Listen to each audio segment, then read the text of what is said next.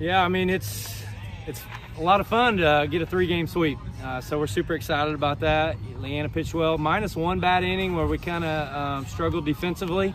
Uh, the whole weekend was a good weekend for us. Up and down the lineup today, uh, we had offensive production just throughout the entirety of the lineup. So that's exciting. You know, that's one of our biggest uh, things that we work on is just passing the bat, passing the bat, put it on the next person. So excited to see the amount of hits and the amount of runs that we had today. And uh, I, I, was talking about this with, with Tal a little bit. This is now three straight series where you guys were able to get the win.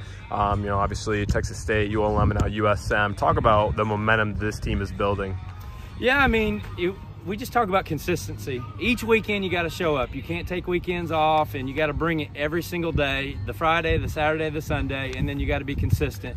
So I think it's one of those things where people know that and you realize that, but just to continue to reinforce that. And so far we've been consistent. We want to continue to strive for uh, consistency and, and just kind of move forward next weekend, Coastal Carolina. Uh, we'll, let's work to win the series and be consistent.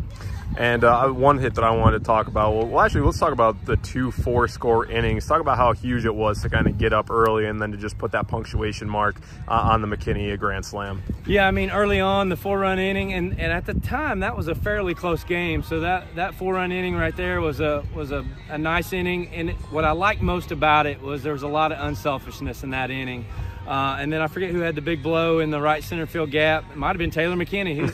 Uh, and then, but I tell you what, uh, later on in the game, her grand slam. Again, a lot of unselfish at bats in front of her to create that opportunity. And uh, right place, right time. Taylor McKinney took care of business.